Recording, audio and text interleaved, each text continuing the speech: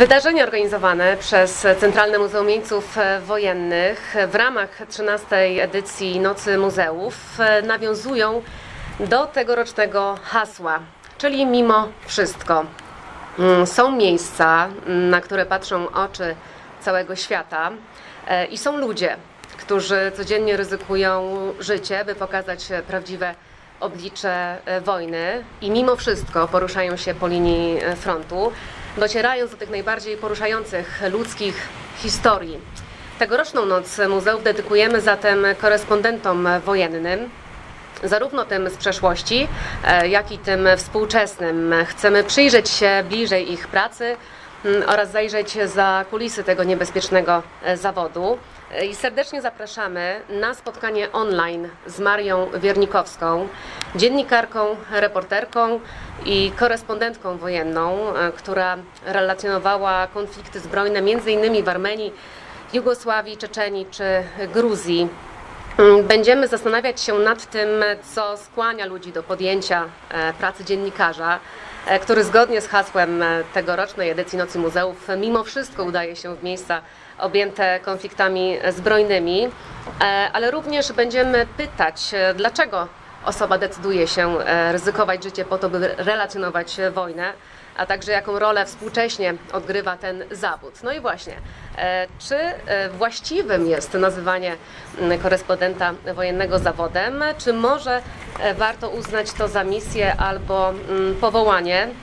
Mm, Spotkanie online z Marią Wiernikowską odbędzie się na naszym kanale YouTube Centralnego Muzeum Jeńców Wojennych o godzinie 20.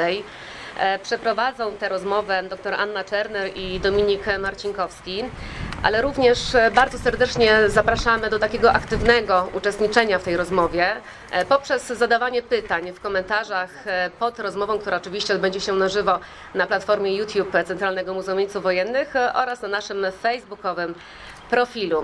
Przypomnę, ta rozmowa rozpocznie się o godzinie 20. Mm, Ale już od godziny 18 e, będziemy wyświetlać e, film wewnątrz e, budynku muzeum, a od godziny 20 na dziedzińcu muzeum to będzie film animowany Marian na wojnie, mm, który przedstawia wojenne losy twórcy słynnej ilustracji Koziołka Matołka, Mariana Walentynowicza który również był korespondentem wojennym e, pierwszej dywizji pancernej generała Stanisława Maczka i mimo zła wojny, którego doświadczył, to właśnie spod jego ołówka mm, wyszedł m.in. barwny cykl rysunków o wojennej wędrówce i niewoli fikcyjnego Walentego e, Pompki.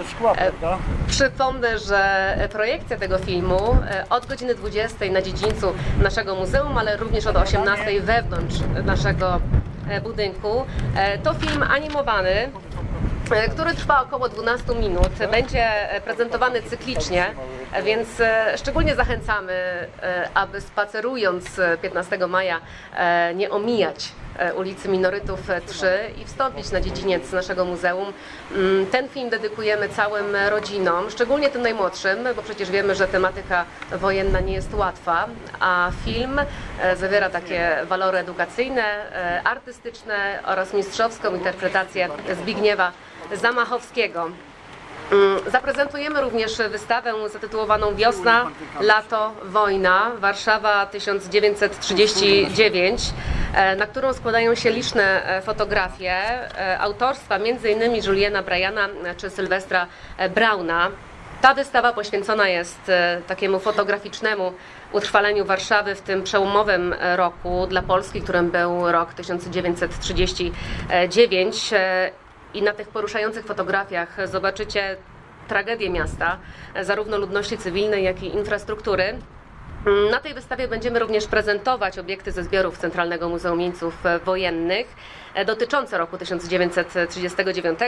E, Będzie można zobaczyć innymi fotografie pokazujące polskich żołnierzy idących do niewoli, ale również przedmioty związane z umundurowaniem polskich żołnierzy.